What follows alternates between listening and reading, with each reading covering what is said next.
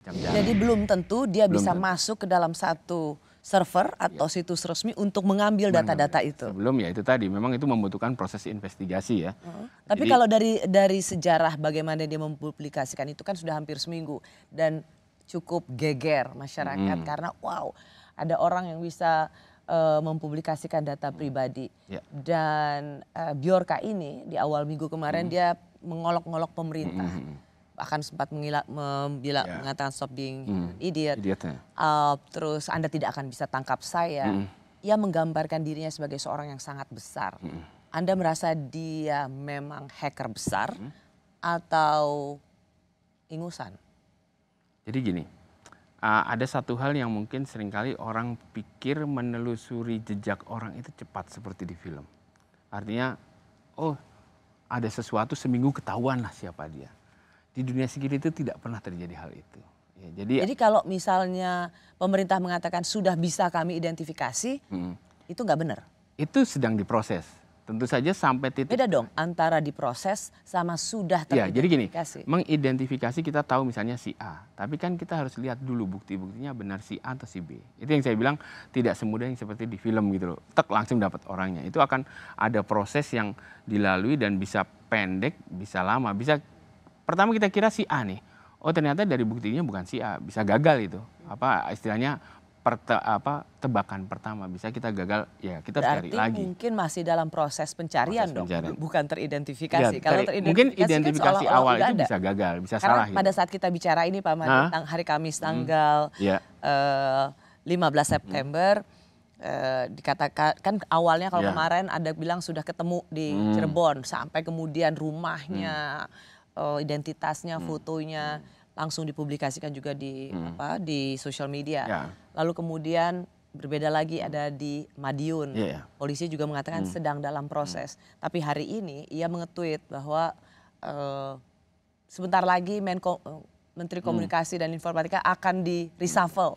Artinya dia masih bisa nge-tweet Ya. pada saat polisi mengatakan Jadi itu ada it- yang memang iya. ada hubungannya itu dengan nor- normal sekali ya di dalam penelusuran apa penelusuran pelaku eh, yang masuk ke dalam sistem. Jadi cerita mungkin yang yang sampai dibuat cerita itu ada novel namanya Kuku X yang yang menulis adalah Clifford Stoll. Itu cerita asli.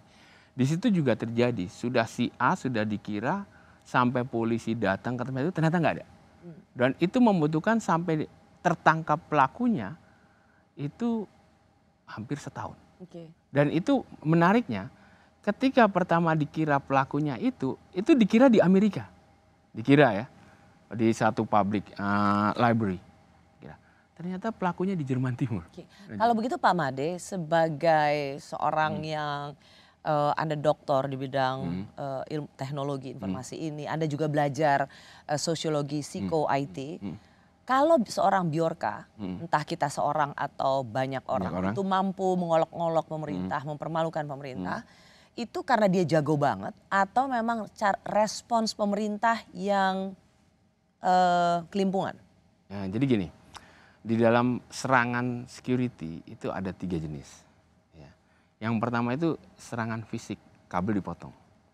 Yang kedua itu serangan sintetik, kita ngirim software segala macam. Yang repot itu serangan semantik, kita menyerang mindset orang. Nah, jadi saya bisa katakan Di antara tiga itu mana yang, mana yang paling berbahaya? sebetulnya yang paling berbahaya yang ketiga lah ya kita menyerang mindset ya, menyerang pola pikir orang. Tapi mana yang paling sulit? Eh, sulit itu relatif ya kalau saya bilang. Enggak, karena kalau dari tiga itu kan semantik tadi. Ah. Berarti dia menciptakan narasi. Narasi. Dia menciptakan Kalau apa? secara alat bantu ini sebenarnya lebih mudah. Oke. Karena saya alat Tetapi bantu ngerti saya jadi itu sebenarnya sebuah serangan yang dari sisi usaha dia lebih gampang. betul. Karena hanya menciptakan Betul. kekhawatiran, Kalau yang tadi kan kecemasan. fisik kita harus motong gitu kan. sebenarnya secara effort yang ke pertama kedua itu lebih susah. Lebih susah. Yang ketiga ini secara usaha sebenarnya gampang, tapi, Tapi dia menciptakan dampaknya besar. kecemasan dan Nah, ketakutan ini yang yang publik. disebut dengan eh, sebetulnya pada saat ini ketika internet makin banyak digunakan itu yang paling berbahaya Nah, sebetulnya. dan itulah yang dilakukan Biorka. Betul. Data sejumlah menteri dibocorkan seorang bernama Biorka. Apakah itu artinya Biorka punya data pribadi kita semua?